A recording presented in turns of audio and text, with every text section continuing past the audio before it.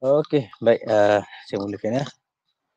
A'udzubillahi Bismillahirrahmanirrahim. Rabbi syrah li sadri wa yassir amri wa hlul 'uqdatam min lisani yafqahu qawli. Baik. Uh, selamat datang. Terima kasih. Selamat pagi juga saya ucapkan. Uh, saya harapkan semua pelajar-pelajar saya berada dalam keadaan sihat dan uh, selamatlah insyaAllah. Semoga kita sama-sama dijauhkan daripada wabak COVID-19 yang hari makin teruk. Okay, dan jangan lupalah uh, untuk terus stay at home. Okay, macam senang tapi payah nak buat stay at home. Uh, okay, baik. Uh, saya nak sambung pada perkara yang saya bincangkan minggu lepas. Okay, uh, uh, minggu lepas kita dah, dah, dah tengok sikit apakah maksud mekatronik. So mekatronik ni adalah gabungan kepada gabungan kepada uh, reka bentuk elektrik, reka bentuk mekanikal, reka bentuk mekatronik okay, digabungkan dalam satu tajuk lah dan apa nama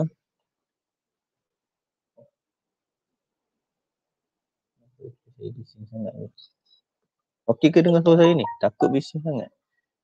Takut bising sangat. Okay, revolusi ya berasal daripada revolusi perindustrian. Okey hari ni orang uh, biasa sebenarnya awak awak dengar kalau di TV dan sebagainya lately lah. Dalam tahun 2 3 tahun ini manakala kita telah pun berada di revolusi industri 4.0 uh, dipanggil IR 4.0. Ada yang sebut macam tu, tak kisahlah macam mana sebutan, kita berada di era revolusi perindustrian 4.0. Di mana hari ini adalah berbeza dengan revolusi perindustrian sebelum-sebelumnya. Siapa yang asaskan pula? Ah, dia sebenarnya tidak berasas. Kita berada di era tersebut. Bukan sebab siapa asas, bukan sebabkan okey hari ini kita buat revolusi tak. Bukan sebab itu. Okay, so kita telusuri dulu sejarahnya, perkembangan revolusi perindustrian ni apa. Okay, revolusi perindustrian ni, ia bermula dengan penggunaan uh, okay, dengan penggunaan rek bentuk mekanik bermula dengan chip gear nanti bermula dengan penciptaan gia-gia. Di hari gia ada tuas, ada apa nama, gelonso. Ada apa lagi yang belajar tahun lepas? Ha, boleh sambut sikit. Apa lagi belajar tahun lepas tentang mekanikal? Ada gia, ada tuas, ada gelonso, ada berbola. Ha, ada apa lagi ya? Macam ada tujuh benda tu yang membuatkan pergerakan mekanikal. Uh, okay, so bermula daripada situ, kemudian kalau perasan revolusi industri 1.0 ni bila wujud bentuk mekanikal ni, waktu tersebut kebanyakan uh, menggunakan tenaga manusia sebagai pemula kepada pergerakan-pergerakan. Contoh macam wujudnya basikal, wujudnya apa nama, uh, mesin-mesin yang tidak menggunakan enjin uh, pada waktu tersebut. Maksudnya mesin-mesin tak menggunakan enjin ni dia berada di revolusi industri 1.0. Dan setelah uh, dalam revolusi 1.0 juga maka waktu tersebut uh, adanya orang yang menemukan uh, penciptaan enjin warp. Uh, enjin warp ni maksudnya enjin menggunakan batu arang contoh macam kereta api uh, uh, kereta api wap tu yang ada serombong ada asap dan sebagainya itu menggunakan uh, teknologi engine warp uh, masuklah juga kapal. Itu berada di revolusi industri 1.1.0 kemudian bila melangkah kepada revolusi industri 2.0 okey waktu ini penemuan tenaga elektrik telah pun ada dan mereka banyak mengasimilasi teknologi elektrik tersebut kemudian uh, implement dalam teknologi mechanical bagi membentuk satu uh, membentuk beberapa uh, produk-produk lah antaranya kereta, penghilangan. Okay, itu antara sektor-sektor uh, umum yang menjadikan uh, teknologi itu berkembang dengan begitu pesat. Kerana waktu tersebut kebanyakan orang uh, memerlukan pergerakan. Okay, pergerakan kepada satu tempat kepada satu tempat. Dan itulah asal kepada teknologi lah. Dan kalau kita bincang pasal teknologi ni sebenarnya bukanlah bermula revolusi industri industri tak lagi uh, revolusi yang lain karya mungkin lebih kecil daripada ni. Cuma tidaklah berada pada era uh, revolusi ni. Sebenarnya sebelum-sebelum tu ada lagi sebab kita kalau belajar sejarah kita ada banyak uh, tengok tamadun-tamadun yang dah dibina awal sebelum uh, pada tamadun manusia yang uh, moden ni lah. Ada banyak lagi tamadun-tamadun sebelum ni yang mana mereka juga menggunakan teknologi. Uh, cuma taklah dinyatakan ni sebab tak berada dalam dalam era revolusi industri ni lah. Okey, baik. Hari ni kita dah masuk kepada revolusi industri 4.0 4.0 Okey, ni 4.0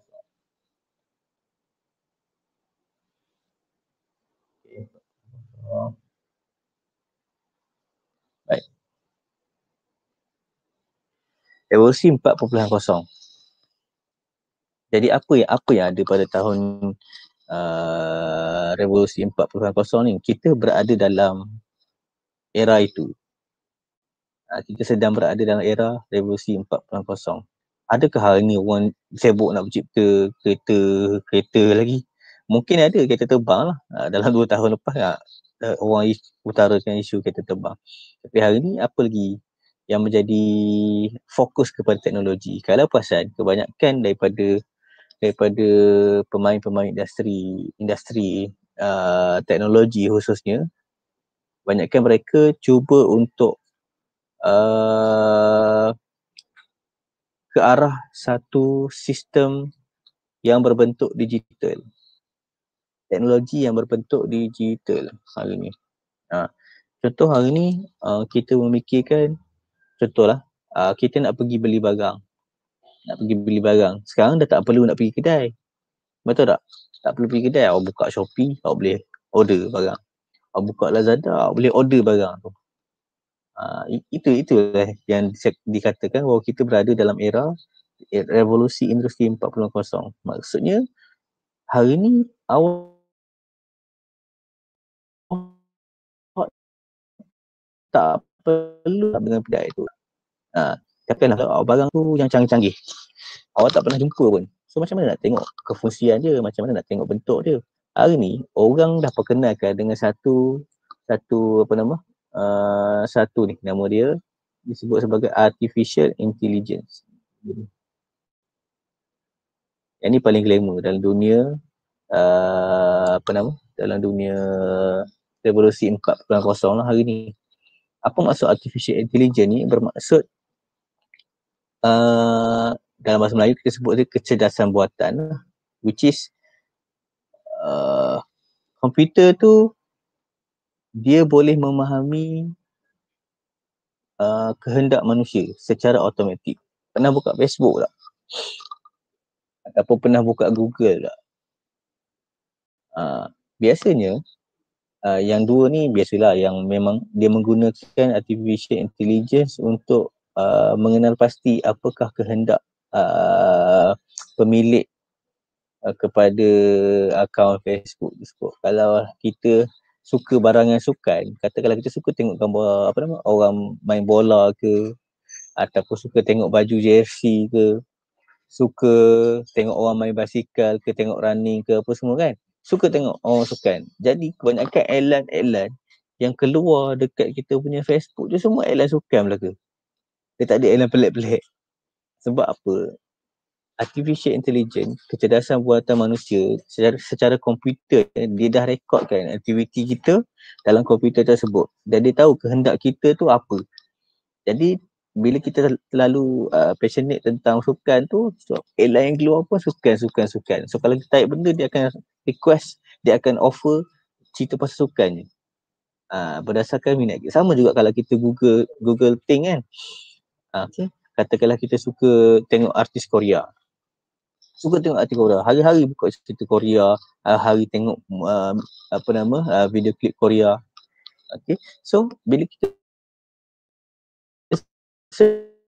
something dia dah, dah ada buka je keluar benda uh, of Korea lah kan benda-benda tu so artificial intelligence dah dah pun baca uh, kita punya kehendak kita punya minat dalam dalam dalam tempoh yang mungkin uh, selama mana kita kita dah apa nama search pasal benda tu. Jadi dia tahu kehendak kita. So hari ni kita dah berada pada era yang mungkin lebih mudah sikit berbanding sebelum ni. Uh, so hari ni banyak disebutkan tentang internet of thing ni. Internet of thing. Internet of thing ni biasa jangan sebut ni internet of thing. Apa maksud internet of thing contoh eh, saya bagi tahu. Katakanlah kita ada peti sejuk ni peti sejuk ni. Peti sejuk ni sekarang canggih peti sejuk. Kalau kita tengok kat US dia ada teknologi saya pernah tengok sekali. Which is dalam ni biasa kita letak barang barang makan eh, kita punya stok. Betul tak? Kita akan letak stok kita. Macam-macam lah. Susu ke air sejuk ke air tin ke ayam ke ikan ke apa. So dalam ni kita dah buat management kita punya stok. Okay. Ni tempat ikan, ni tempat sayur, ha, ni tempat ikan, yang ni tempat sayur, yang ni tempat air. So setiap stok yang kita masukkan ni dia akan dah rekodkan dalam satu komputer data dan dia sambungkan kepada internet sambungkan kepada internet sambung kepada internet bila stok makanan kita dalam peti ni tak cukup bila stok makanan dalam peti tak cukup jadi data ni akan bagi alert kepada supplier. Oh dia bagi dia bagi alert hantar kepada supplier. Okay. dia, hantar, dia akan hantar kepada supplier. Dia hantar kepada supplier so hantar ke supplier supplier akan baca data stok tersebut. Dia akan baca data stok ni. Stok ni siapa punya? Account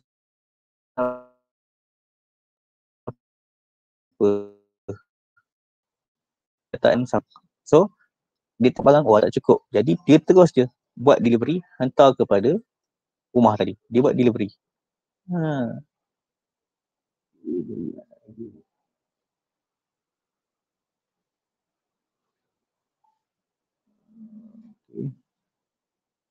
buat delivery eh dia deliver lah tak kisahlah dia deliver kepada tu secara automatik tanpa perlu tuan rumah ni tuan rumah dia tak perlu pun beritahu pergi cari barang sendiri tak So data daripada peti ais ni canggih dia akan baca terus and then bagi alert kepada supplier, supplier tahu barang apa tak cukup, dia terus hantar automatically. So that kita panggil sebagai internet of things ni. Internet benda. Data raya juga. Ini benda-benda yang hari ni sangat-sangat bernilai.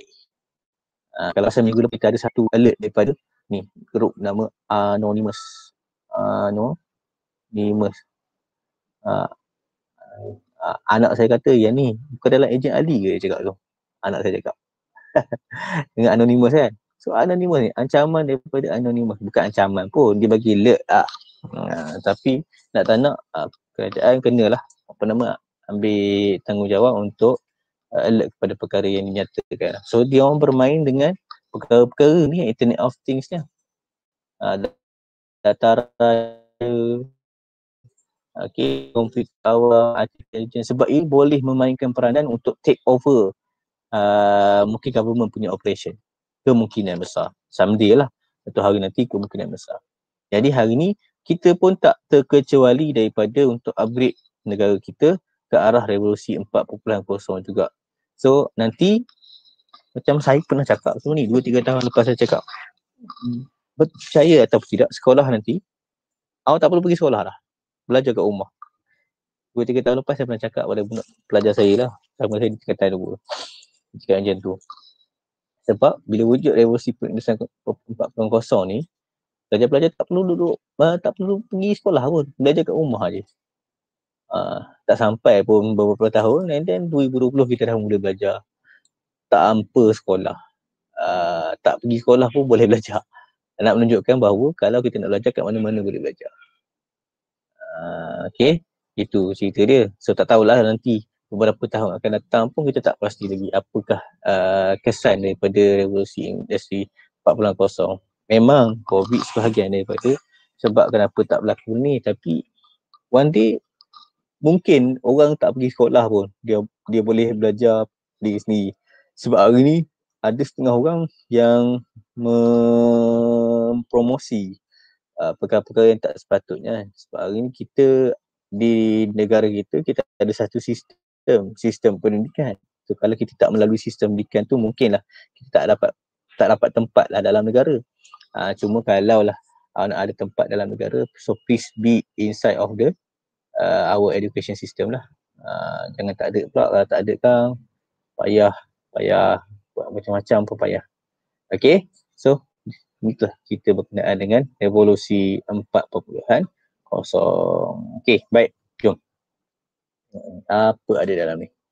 So, revolusi 3.0 bermula dengan penciptaan elektronik seterusnya menggabungkan uh, uh, uh, reka bentuk masih tu reka bentuk elektronik. Uh, tidak ada lah. Tahun saya sama saya belajar dulu. Uh, zaman sekolah saya ni uh, orang dah mula uh, apa nama dasar pandang ke timur which is waktu tu Jepun sangat terkenal lah dengan teknologi robotik dia. Sehingga banyak barang-barang di kilang-kilang tempatan memang kebanyakannya adalah produk daripada Jepun. Robot-robot daripada daripada Jepun sendiri. Macam-macam robot ni.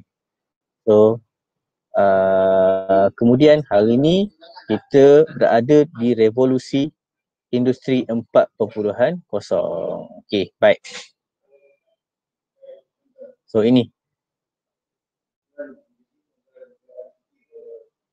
Baik, kemudian dekat sini.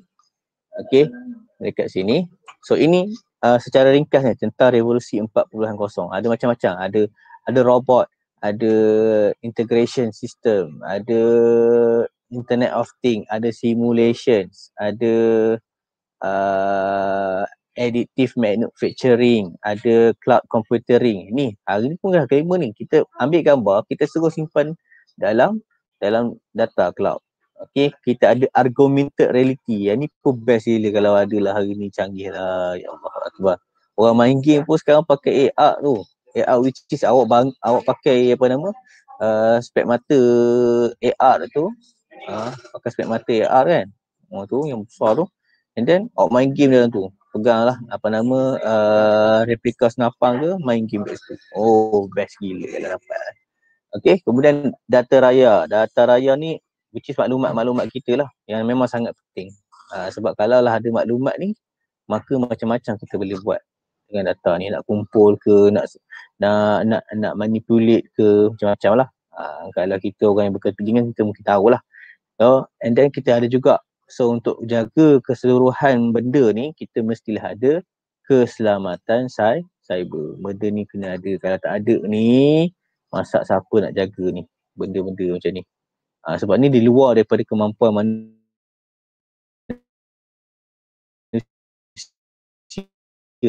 lah sebab boleh jaga pun agak keras lebih banyak.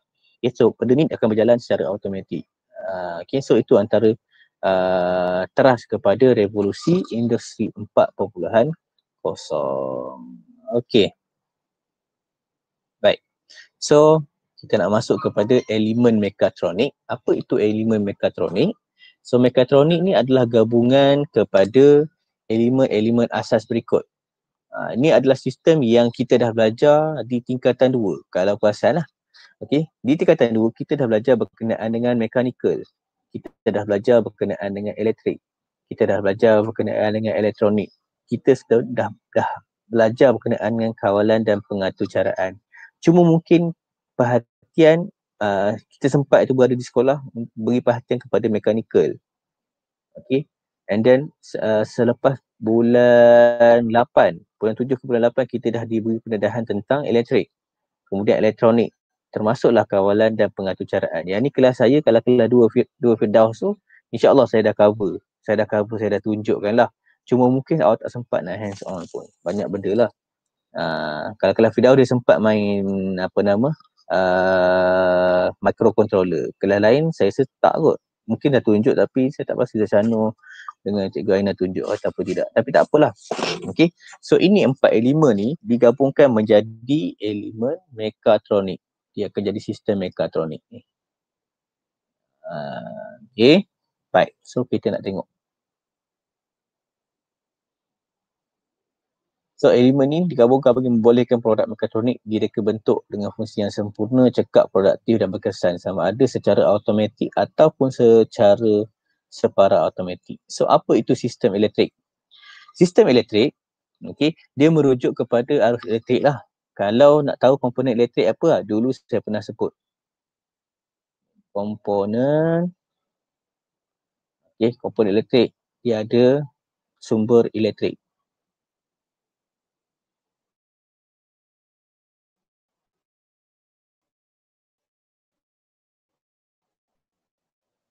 okay, sumber sama sumber bateri ke daripada power source ke daripada soket ke. Uh, okay, tak kisah daripada mana. Uh, cuma kalau daripada bateri kita ada arus terus. Uh, bateri ni arus elektrik dia berbentuk arus terus. Elektrik daripada soket ni berbentuk ulang alik. Ni kena tahulah. Kemudian kita ada medium kita ada wayar ada wayar. Okay. Kemudian kita ada beban. Beban elektrik. Sama ada mungkin motor elektrik. Okay. Motor arus terus ke. Arus ulang alik ke. So ini antara komponen-komponen yang penting. So cukup ada ada tiga benda ni. Ada sumber elektrik, ada media, ada beban. Kita dah panggil dia sistem elektrik ringkas. Memang ringkas.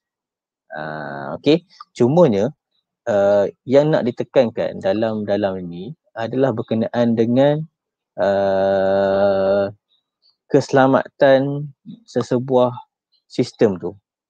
Uh, sebab dalam elektrik kita akan belajar sambungan litar. Kalau ingat lagi lah.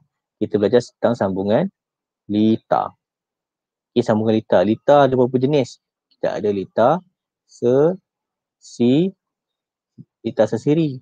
Kemudian kita ada lita se selari.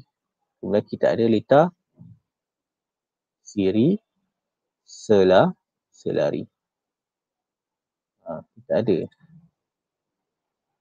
Eh, kita ada. Tiga jenis lita ni. Kemudian ada juga lita buka. Ada lita tutup. Ada lita pintas. So kena belajar tentang sistem elektrik, keseluruhan sistem elektrik.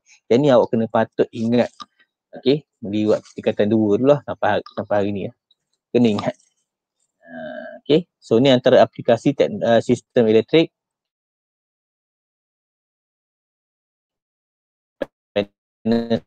Solar, kipas cilik, elektrik. Eh, saya nak tengok. Lupa nak tengok siapa lagi ada ni. Tak Syano. Iskandar, Alia Natasha, Alami, Syamirul Amir, Husna, Nasrul Hakimi, Muhammad Firdaus. Oh, sana ah, ada. Sana kat mana tu? Di rumah sana.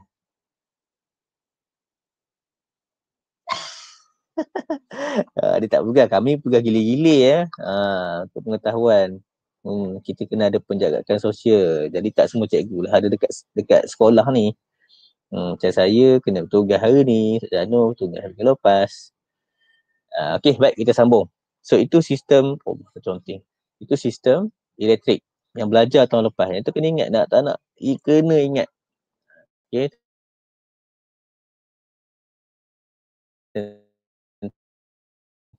Tentang sistem sistem mekanika. Ini kita belajar uh, tajuk kedua ke tiga tahun lepas. Mechanical. So sistem mechanical ni adalah gabungan uh, komponen. Dia, dia tujuan mechanical ni sebenarnya kita nak pindahkan gerakan je. Eh, pindahkan gerakan. Kalau belajar sekolah rendah dulu dia ada panggil apa ni mah uh, pergerakan lokomotif. Lokomotif eh? Dia belajar tak? Ya. Dia buka sikit mic tu saya nak dengar sikit suara. Tak, tak nampak muka tak apa, suara dengar tu jadi perhati lah. Ada tak belajar pasal lokomotif dan non-lokomotif? Pernah kot. Ada tak belajar pasal ni? Ada? Dia tak ingat? Tak ingat aku. Tak ingat ya? Rendah lagi ni. Ha, tapi tak apalah tak ingat. Uh, cuma, ya, di sekolah menengah kita tak belajar apa ni. saya pernah dengar perkataan je. Kebetulan kan anak saya, anak saya apa nama, baru masuk darjah satu. Baru, baru dengar lah perkataan ni. Wah canggih tu. Sebenarnya nak belajar dah. Saya dulu ngajar, ngajar apa nama, ngajar KH tu. Ada je perkataan yang lain yang bermaksud sama. Okay. Ini mengenal bentuk pergerakan. Okay. Pergerakan ni ada dua jenis tau. Untuk pergerakan. Okay, pergerakan ni ada dua jenis. Satu pergerakan disebut sebagai pergerakan lurus. Yang kedua, pergerakan putaran. Kita ada linear. Okay, ni linear. Yang dua kita ada rotate. Ha, satu pergerakan lurus, satu pergerakan rotate. Contoh, saya bagi contoh. Ha. Okay, tengok ni lah, tengok ni tengok si eh, ni pemain CD. Pemain CD. Okey, cuba beritahu saya apa nama pintu CD ni dia bergerak macam mana? Bergerak macam ni kan? Ni pergerakan lurus ke pergerakan linear?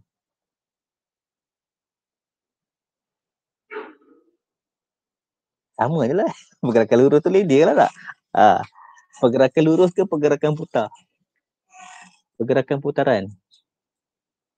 Hmm. So buka tutup CD ni, bekas CD ni, yang ni kita panggil dia pergerakan lurus. Manakala CD yang kat dalam ni nanti bila dia nak baca, dia akan berputar. So pergerakan pembacaan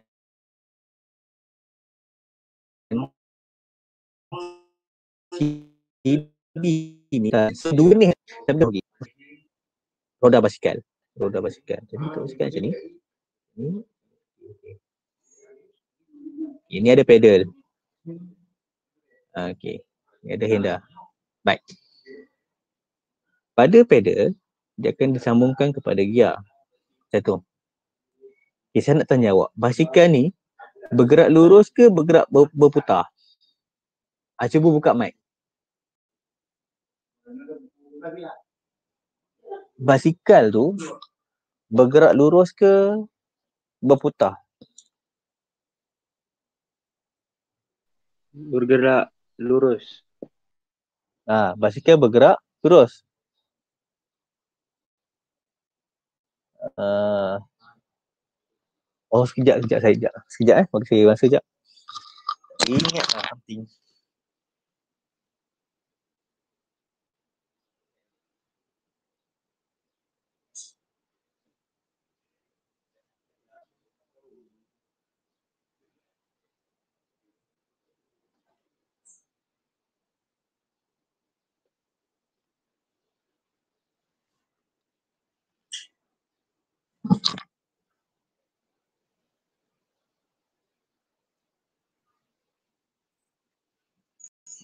Sorry eh.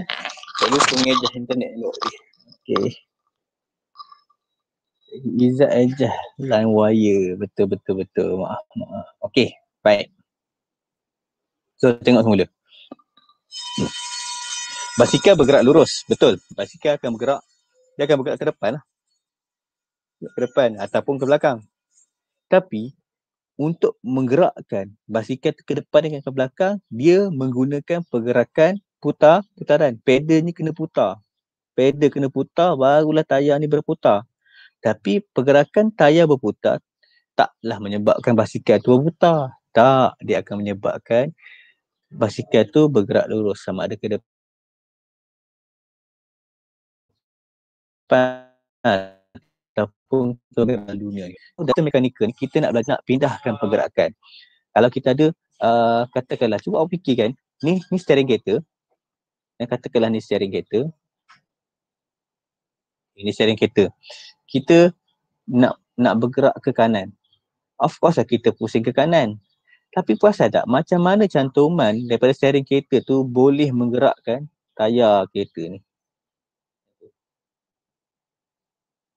Nampak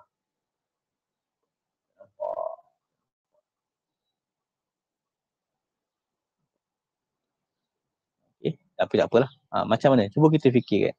So kat situlah uh, engineer-engineer mereka-mereka bentuk dia akan fikir macam mana nak buat pemindahan gerakan tu. Sebab itu dalam kita belajar mechanical ada macam-macam jenis gear. Ada gear yang kita boleh boleh uh, buat pergerakan yang sama. Ada gear kita boleh tukar pergerakan dia daripada pergerakan uh, putaran kepada pergerakan lurus. Ada uh, pergerakan yang kita boleh convert dia kepada uh, 45 darjah. Uh, okay, 45 darjah. Ada yang kita boleh tukar pergerakan di serong dan sebagainya. So itu antara fungsi-fungsi meka, fungsi-fungsi mekanikal. Uh, okay, baik. Kemudian tengok pula sistem elektronik. Okay, sistem elektronik. Apa itu sistem elektronik? Sebenarnya hampir sama macam mana sistem elektrik. Cumanya dalam ni kita berbincang pasal litar elektronik. Okay, kita bincang pasal litar elektronik. Okay, apa ada dalam litar elektronik? kenapa dia berbeza dengan elektrik? Okey, elektrik ni dia ringkas. Memang ringkas. Contoh, awak pasang uh, bateri, sambung dengan wayar, sambung dengan switch, sambung dengan mentol. Awak on uh, switch, kemudian lampu menyala. Itu ya. itu seringkas sistem elektrik. Tapi dalam elektronik, kita akan jumpa komponen-komponen yang boleh berfungsi.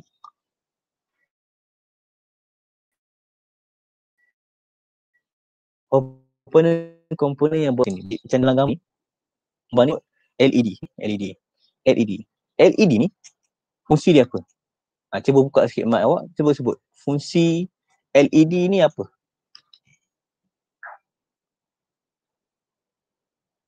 dah lepas ni saya nak tanya balik kalau tak ingat ni aduh kena baca balik lah apakah fungsi LED Oi, ini hari-hari nampak ni dekat dekat phone ada LED. Dekat TV ada LED. Dekat komputer ada LED. Ha, cuba fungsi Usna. LED. Usna, Usna masuk Usna. Usna masuk. Risau lagi dia. Ha, siapa ada ramai? Alhamdulillah ramai sikit lah. Ada Akil ada, Haziq ada, Aidit ada Imani Sofia. Ha cepat. Apa fungsi LED ni? Nak tahu ni. Belajar dah tahun lepas ni. LED ni lagi lah hari-hari nampak Allah. Benda agak fungsi dia ni. Ha cuba sebut sikit. Ha. Ustaz Sano beritahu sikit Ustaz Sano. Ustaz Sano ni dia power buat elektronik ni. Dia suka DIY. apa fungsi LED? Kenapa saya cakap ada kat phone, ada kat uh, komputer, ada kat TV?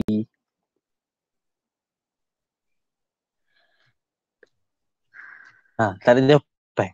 Krik-krik. Ke line saya tak elok? Alahai. Ha, cepat.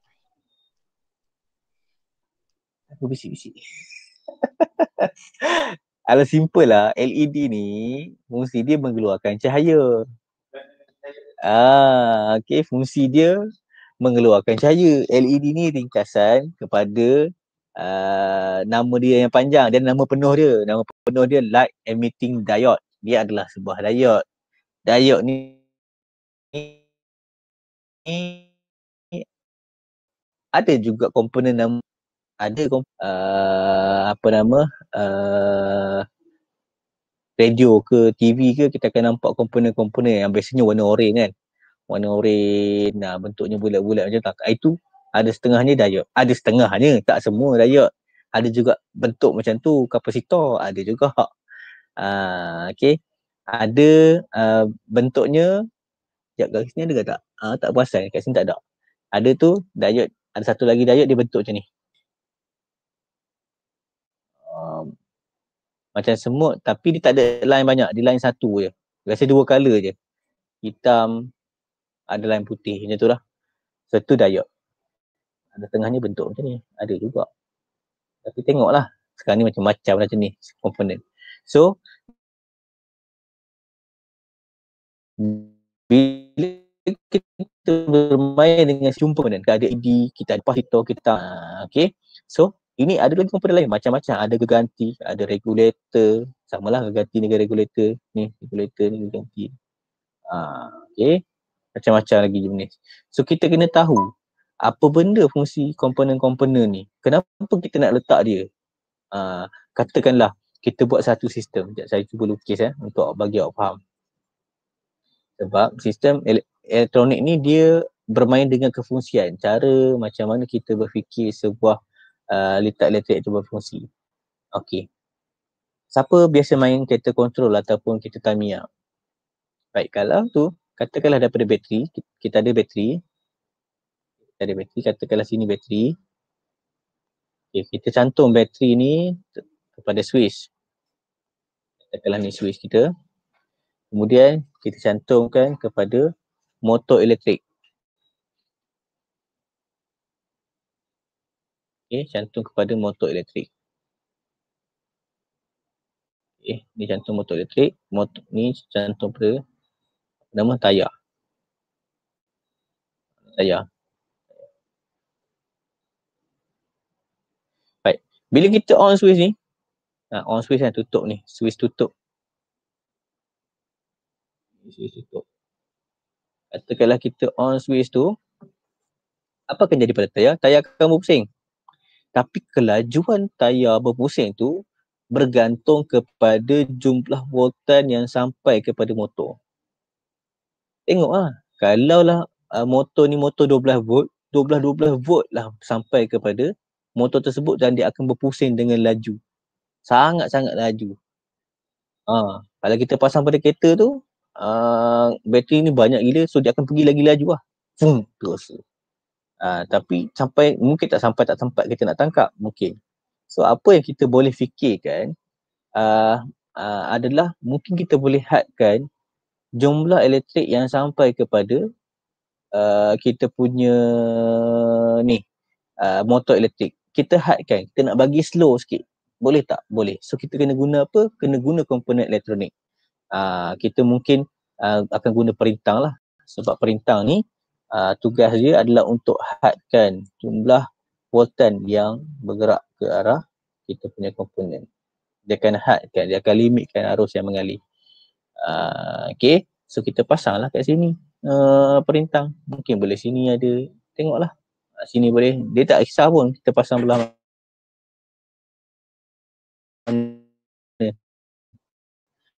kita memang uh, bukan aktif lah terpaksa hanya hadkan elektrik yang sampai sahaja uh, okay so boleh terus dia akan slow kan so tayar takkanlah pusing laju sangat dia akan slow sikit uh, boleh faham uh, itu je trik je contoh kalau beli kereta Tamiya tu yang pasang sendiri tu pasang-pasang-pasang boleh terus jalan kan. Awak tambah lagi bateri, makin laju, makin laju, makin laju. Tapi dia akan cepat habis lah. Uh, itu je. Okay, itu sistem elektronik. Okay, dan yang terakhir sebelum kita habis ni, last sistem kawalan dan pengaturcaraan. Okay, untuk tahun lepas pelajar-pelajar saya di kelas F, dia dah tengok lah menatang ni, dah guna dah pun. menatang panggil ya. Ini namanya microcontroller. Okay, microcontroller. Ui, salah je. So,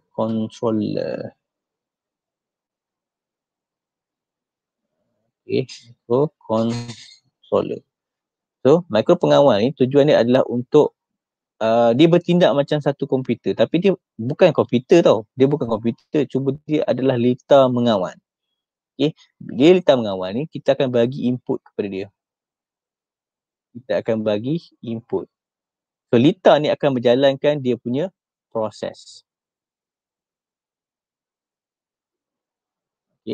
Okay. Lita ni akan menjalankan proses. Dia akan jalankan proses. And at the end, apa akan berlaku? So dia adalah out, output. Dia akan ada out, output. akan menjalankan fungsi dia. So ini whole proses tentang sistem kawalan dan pengatur caraan. Dia mesti ada input. Okay, sama ada input tu berbentuk digital ataupun input berbentuk analog. Itu kena refer balik benda yang belajar di tingkatan dua.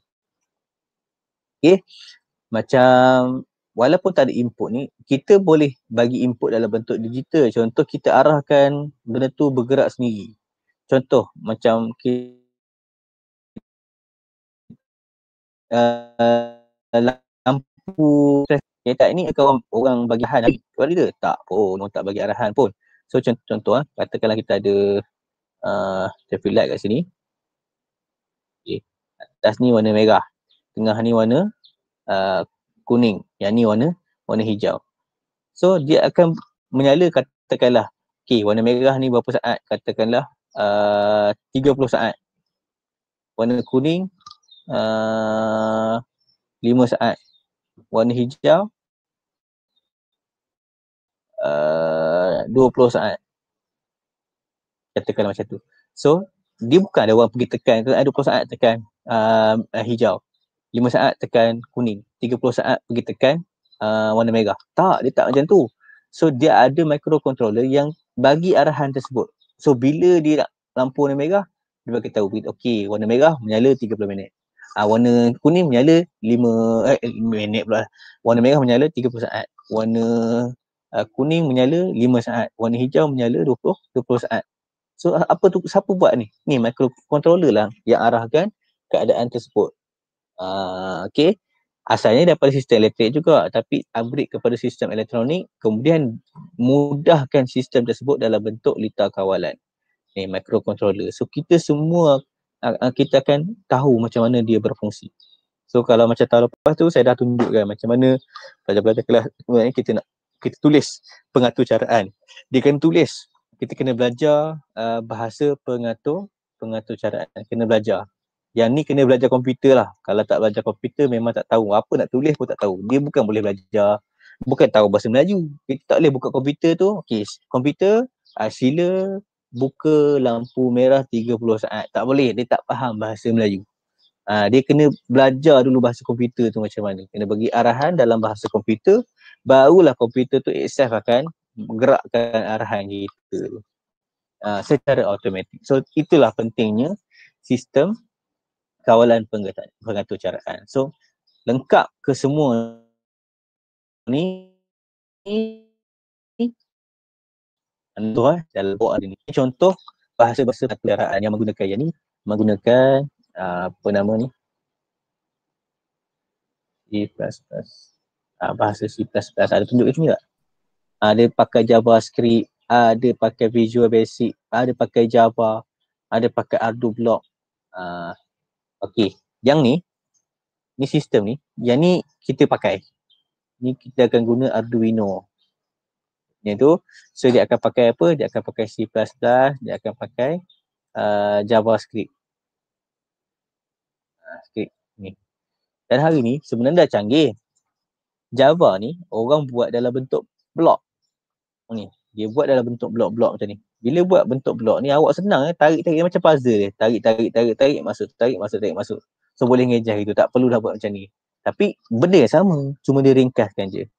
Uh, So nak belajar ni tapi kena ngadap komputer. Semua.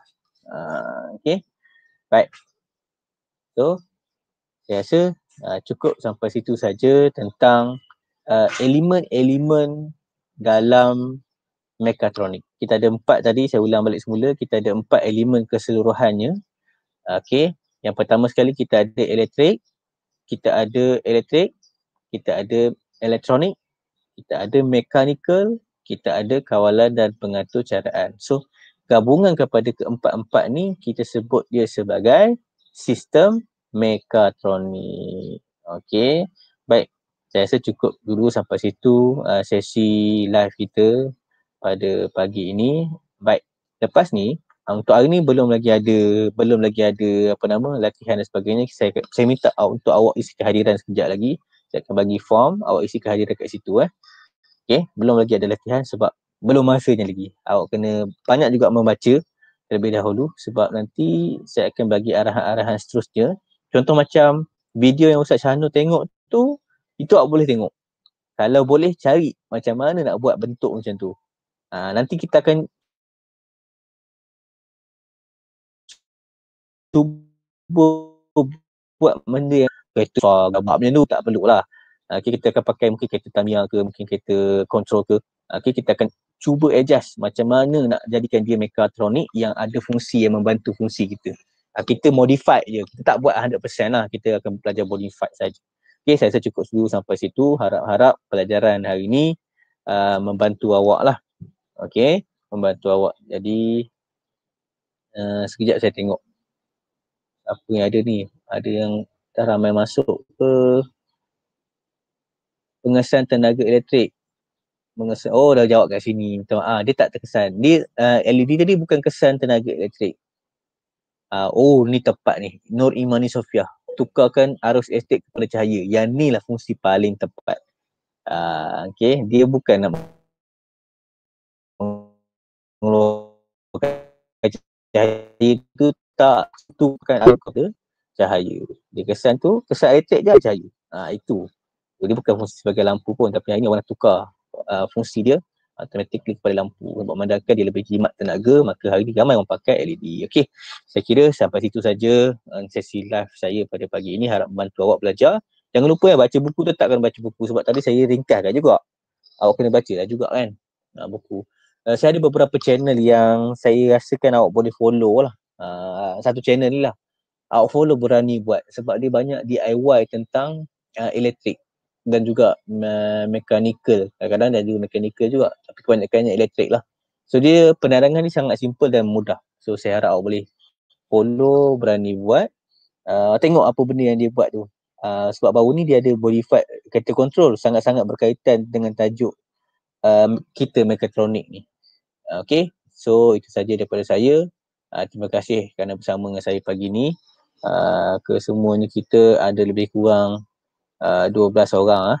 12 orang. Jadi itu saja daripada saya. Terima kasih banyak-banyak. Assalamualaikum warahmatullahi wabarakatuh. Okey. Nanti jangan lupa ya. Uh, apa nama?